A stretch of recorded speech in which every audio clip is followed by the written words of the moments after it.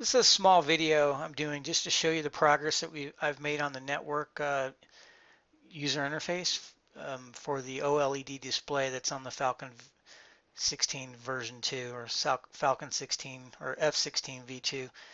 Um, you can see that that's the menu on the on the right there and I have the user interface for the actual device on the left. So if we go ahead and just click the select button. There's five buttons on the display down below. I can't show you those because I couldn't get far enough away and still show you a good picture of the display, but there are five buttons. We have an up, down, left, and right button and a select button. So I'm going to click the select button on network and right there we have uh, the network menu and the network menu has five options that you can change the um, static, uh, whether it's static or dynamic um, the IP address, the subnet mask, the gateway, and the DN and the first DNS. If you want to change the second DNS, you actually need to go to the web page to do that. Um, but typically, usually, you only need to put in the first one. So um, right now we're on the static type. If we hit select again, it brings us to the um, type menu, and you could use the up and down arrows and the little up, um, asterisks tell you which one's selected now.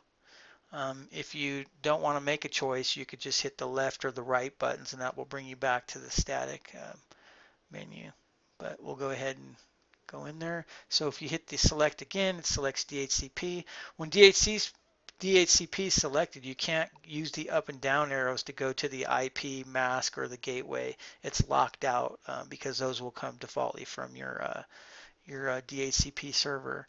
So in order to change those settings, you need to go to make it static. So we go ahead and change it back to static. Then we can go down and you just click the select again.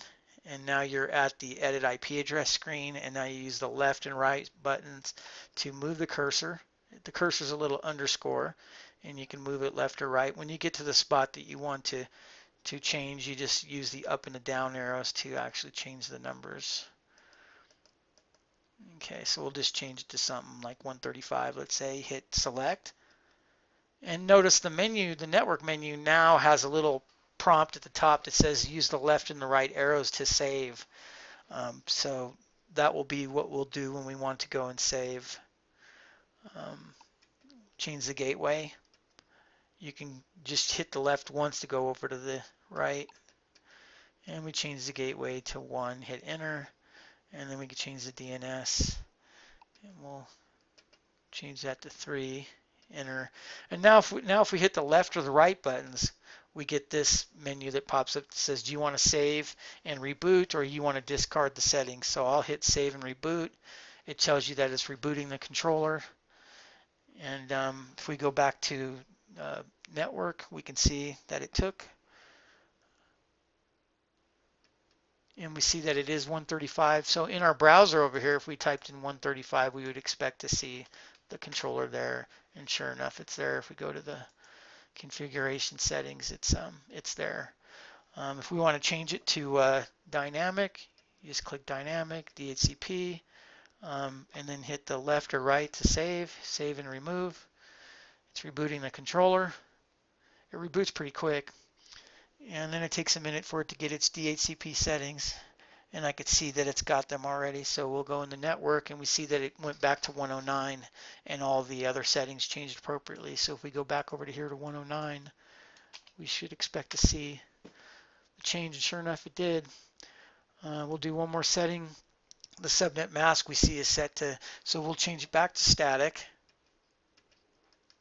We'll go down to mask. And this one, I did this screen kind of with the up and down arrows just to change the, uh, I think it's, what is it, 24 typical, you know, all the way down to a class A. So I think you go down to a class A address scheme.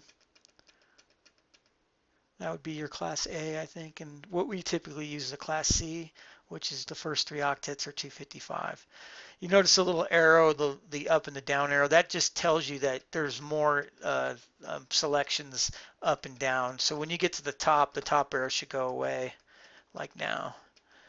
And when you get to the bottom, the bottom arrow goes away because you're at the bottom. And we'll just select the class A and then we hit the left or right and we hit save and reboot it goes ahead and it's rebooting.